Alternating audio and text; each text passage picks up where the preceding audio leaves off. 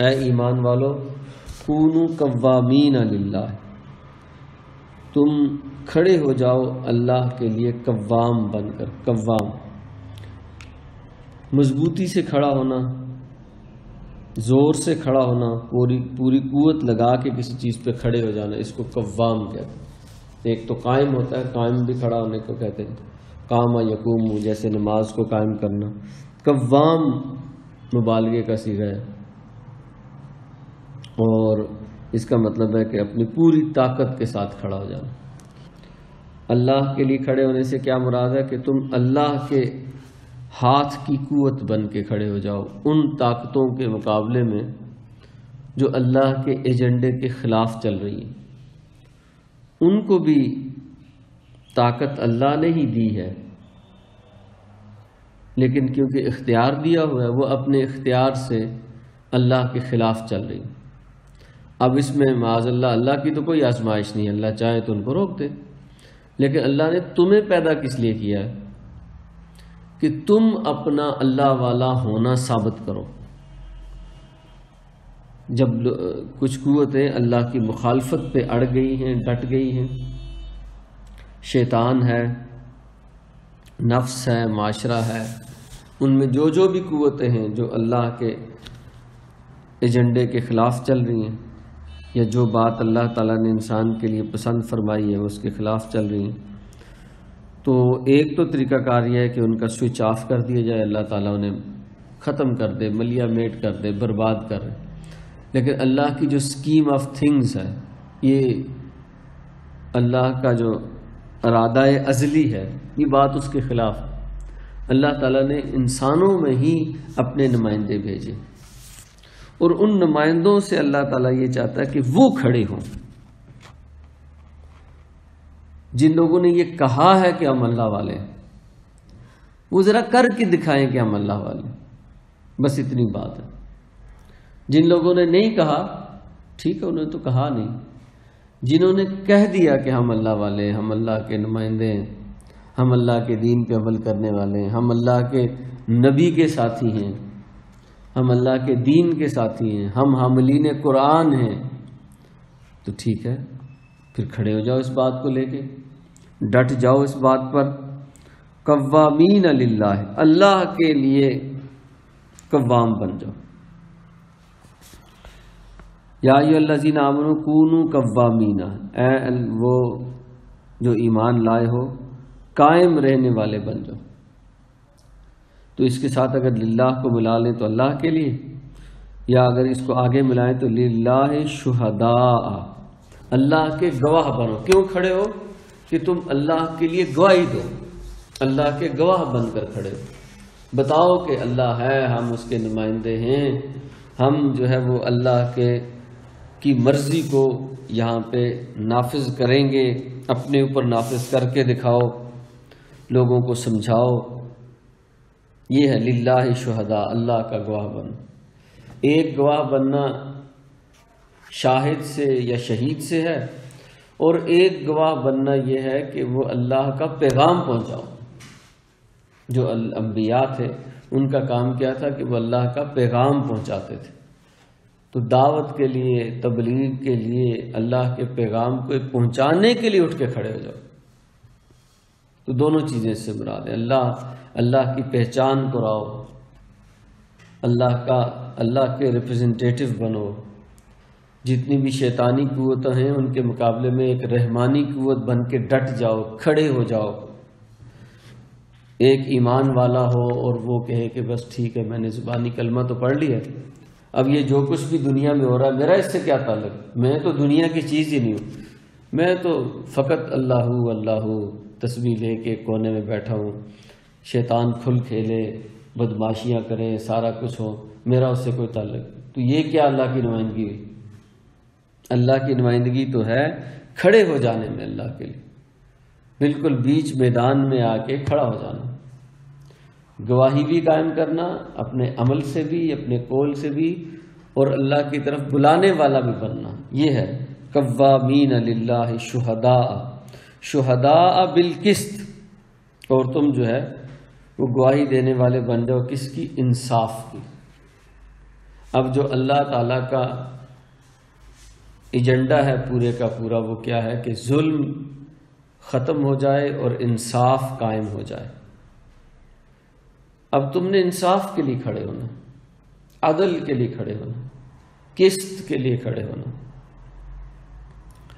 मतलब अगर ये कहा जाए कि क्या है, अल्लाह ताला क्या चाहता है? हमसे, ये इस दुनिया में अल्लाह क्या चाहता है? अल्लाह इंसाफ चाहता है। अल्लाह अदल चाहता है। अल्लाह किस चाहता है? इस वक्त दुनिया में लोग अगर भूखे मर रहे हैं तो एक अंदाजे के मुताबिक जितनी खुराक पैदा हो रही है वो दस अरब लोगों के लिए काफ़ी है। लेकिन लोग हैं, सात अरब। सिक्स प्लस छः से कुछ ज़्यादा है। सात अरब लोग हैं। खुराक जो इस वक्त पैदा हो जो खुराक के ख़जाने अल्लाह ने रखे हुए, वो तो पता नहीं कितने करोड़ अरब लोगों के लिए होंगे। लेकिन जो इस वक्त खुराक पैदा हो रही है, वो दस अरब लोगों के लिए। लेकिन अदल ना होने की वजह से गरीब को उसका हक नहीं मिल रहा। कुछ लोग गंदम उगा के बाद में उसको समंदर में फेंकते हैं। देते नहीं लोगों को। काबिज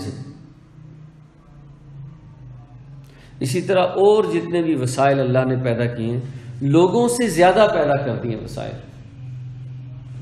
लोग थोड़े हैं वसाइल ज़्यादा हैं। तो लेकिन लोगों का हालत यह है कि लोगों को कुछ मिल नहीं रहा, लोग भूखों मर रहे हैं, लोगों की इज़्ज़त तार तार हो रही है।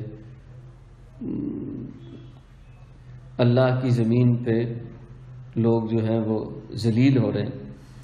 क्यों हो रहे हैं? ये जो ईमान वाले हैं, ये इंसाफ के गवाह बन के खड़े नहीं होते।